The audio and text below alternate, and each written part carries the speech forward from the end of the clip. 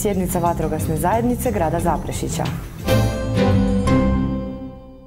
Dobrodošli u vijesti televizije Zaprešić. Na 13. redovnoj izvještajnoj skupštini predsjedništvo i zapovjedništvo vatrogasne zajednice Zaprešića predstavilo je plan i program za 2014. godinu.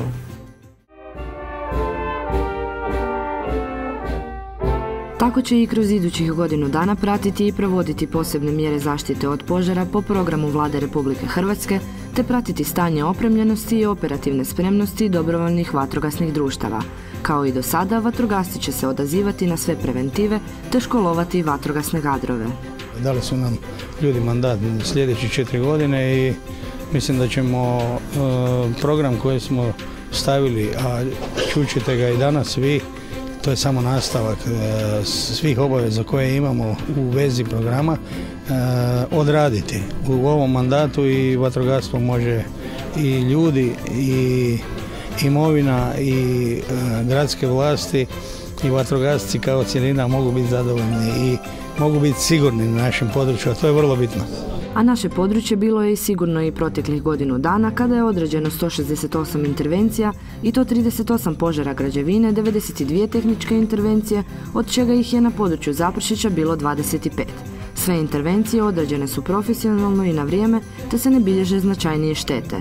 U sklopu preventive prošle su godine organizirali javnu vatrogasnu vježbu u Kupljenovu, gdje su pokazali spremnost vatrogasaca, a ove godine isto će napraviti u Jakovlju 10. svibnja.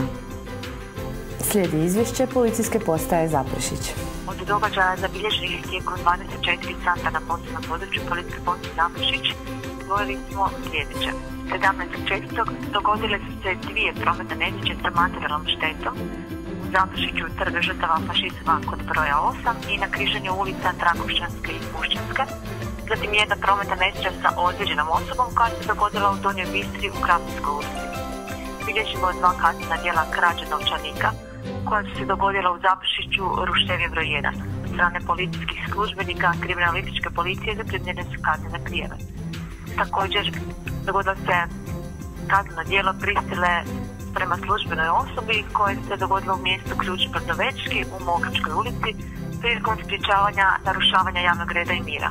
Od strane policijskih službenika kriminalističke policije izvršen je očevid, a nad počiniteljem provodi se kriminalističko istraživanje.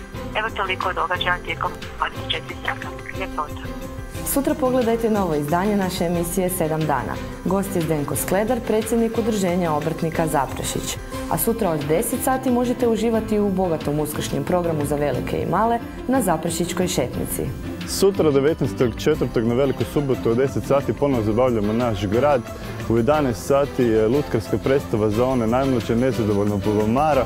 Tu se zabavljamo onda do 16 sati sa raznim animacijama, nagradnim igrama, oslikavanjem pisanica. U 16 sati počinje veliki lov na pisanice. E, svako dijete koje će biti uspješno u lovu i traženju pisanica na našem glavnom gradskom trgu bit će nagrađeno, a u 17 sati imamo veliki uskršnji Magic Party, to je mađoničar i face painting Zeko. Dođite nam svi da se zabavimo na e, danu prije Uskrsa, velikoj suboti na našem glavnom trgu, na našem uskršnom zekanju. 21. travnja na Pepačevom bregu u Savskom Marofu s početkom u 11.30 možete prisustvovati otvorenom prvenstvu Hrvatske u motokrosu. 22. travnja na Dan planeta Zemlje u auli Doma zdravlja s početkom u 19.30 održat će se otvorenje izložbe Ljepote Žumberačkog gorija. 25. travnja u društvenom domu Kupljenovo s početkom u 20 sati održat će se cjelovečerni koncert Kule Kupljenovo u povodu proslave Dana Kupljenova i blagdana Svetog Marka. Stigli smo do kraja današnjih vijesti. Svim gledateljima želimo sretan uskrs, a gledajte nas ponovno na uskršnji ponedjeljak.